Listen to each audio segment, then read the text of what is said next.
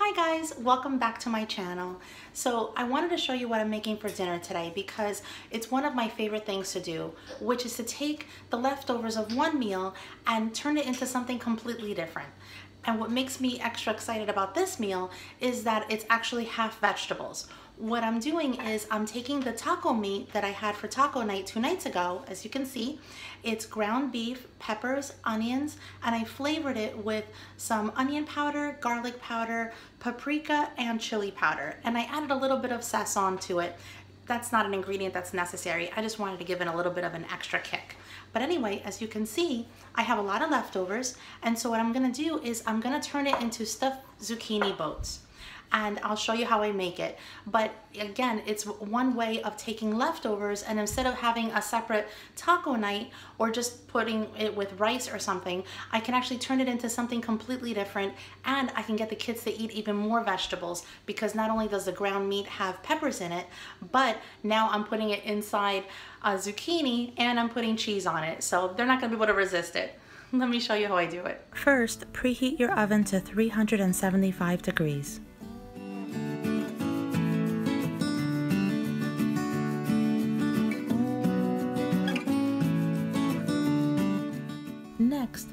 Cut the tops of the zucchini off.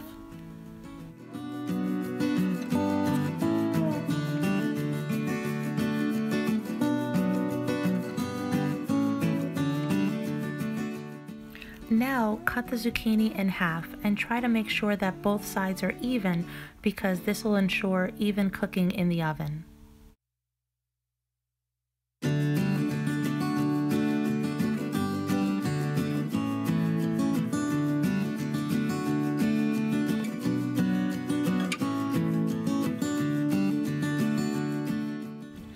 Next, make sure to have a bowl nearby and scoop out the insides of the zucchini, leaving the outside intact so that you can stuff them later, and take the insides of the zucchini and put them in the bowl.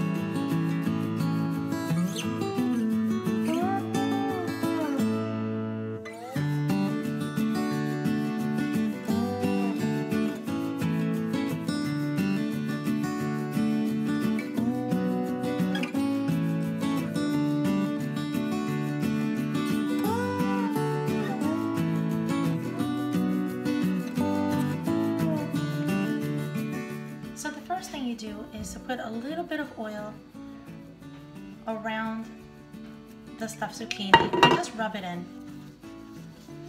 Make sure that you get the front and the back. And obviously this one I cracked a little bit. And then you take it and you're gonna turn them facing down.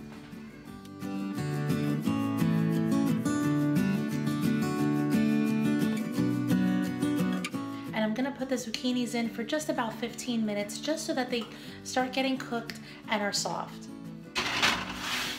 Next, take the insides of the zucchini and put them in a food processor. You want to give it a few pulses to make sure that they're all cut into even size small pieces. If you don't have a food processor, don't worry, you can always put the zucchini in a blender or on a cutting board and give it a really good chop. Next, add the zucchini into a bowl and you're going to add one and a half cups of ricotta cheese, one egg, and about two tablespoons of basil.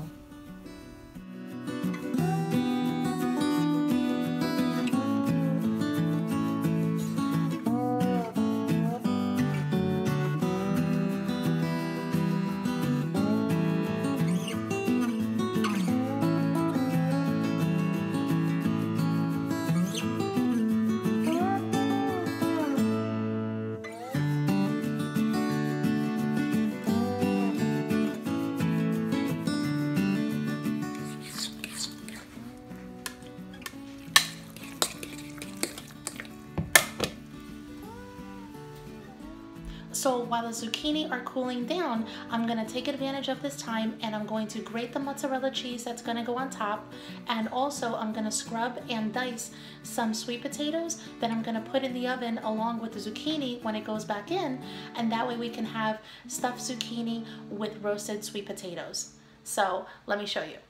Since this recipe only calls for about half of a block of mozzarella cheese, I'm going to cut the block in half, grate half for this recipe, and then use plastic wrap to wrap the rest and put it in the fridge for a future recipe.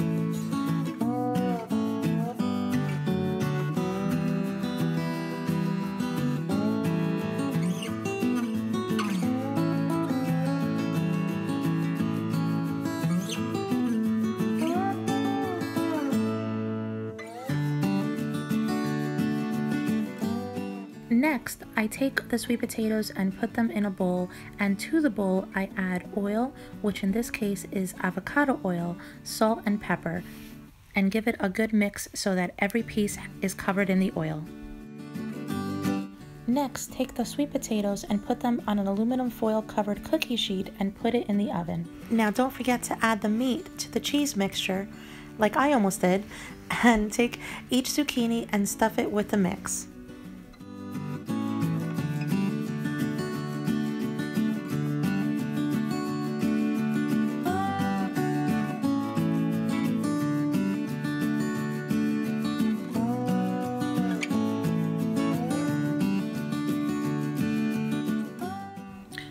You top it with the shredded mozzarella. And in the oven it goes for another 25 minutes. After 25 minutes, you take out both trays and just let them cool.